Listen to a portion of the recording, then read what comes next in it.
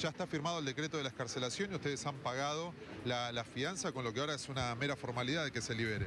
Ante todo, buen día, sí, esto es correcto. En el día de ayer se resolvió otorgar la, la escarcelación, el beneficio de la escarcelación a Acosta. Eh, el pedido lo formulamos a primeras horas de la mañana. A pesar de la oposición del agente fiscal, su señoría con buen criterio le ha concedido este beneficio de la escarcelación y hemos terminado de formalizar lo que es el pago de la, de la fianza. Así que en breve estaremos concurriendo al tribunal a fin de acreditar el pago y seguramente con posterioridad a ello se efectivizará la soltura. ¿Qué elementos creen que se sostiene esta decisión de la justicia de, liberarlo? Fundamentalmente en los recaudos que establece nuestro Código de Procedimiento. Establece los presupuestos para eh, mantener privada su libertad a una persona, a cualquier persona, son dos.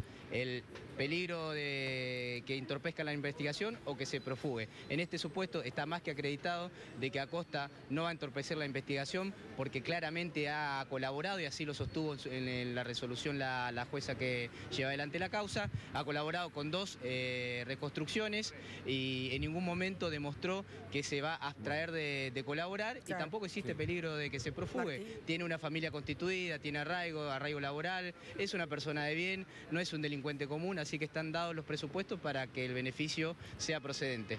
Eh, Lorena, si querés consultar, te está escuchando el doctor Zuluaga. ¿eh? Sí, claro, le quería consultar porque finalmente eh, el argumento y jurídico que habían eh, presentado ustedes, que es la legítima defensa, la justicia no le dio lugar porque los cargos así todo, por más que quede en libertad, son muy graves porque él sigue imputado por homicidio agravado por el uso de arma de fuego.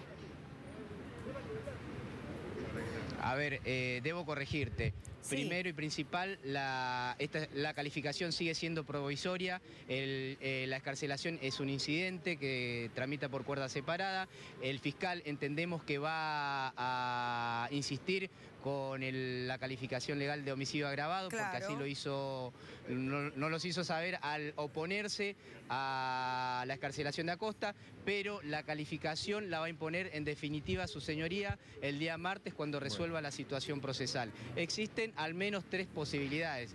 Un sobreseimiento, una falta de mérito Bien. o un procesamiento de acuerdo a la calificación que en definitiva bueno. eh, su señoría imponga.